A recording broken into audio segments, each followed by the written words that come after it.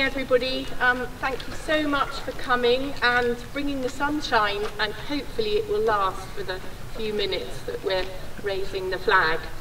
Um, on Saturday, the Lord Lieutenant of Aberdeenshire unveiled and raised the new county flag at Castle Fraser.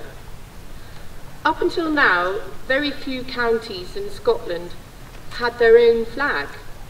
The Lord Lyon suggested that in honour of the 350th anniversary of the Lyon's Court Public Register, as many Scottish counties as possible should be encouraged to design their own.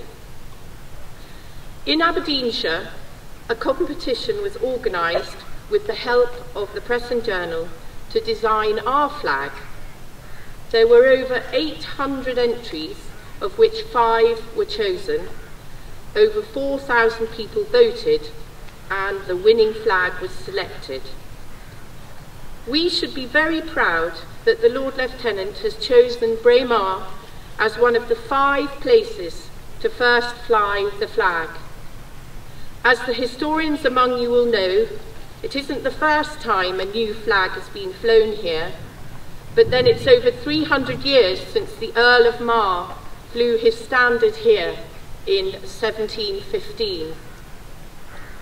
I would like to thank Brian for all his help in organising today and thank you all for coming and making this a very special ceremony. And now I'd like to ask Ken if he'd like to bless the flag before we raise it.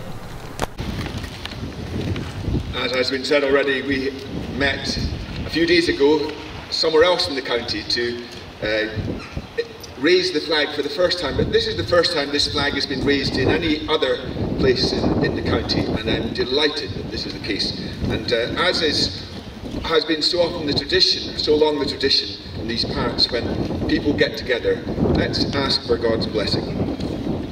Almighty God, in whom we live and move and have our being, we give thanks this day for the wonderful county of Aberdeenshire, for its history, for its geography, for its industry, for its culture, and for its people. We also give thanks this day for the thoughtfulness and creativity of everybody who was involved in the commissioning and in the production of this new county flag. In the name of Jesus Christ, and on behalf of all those who live within or have any association with Aberdeenshire,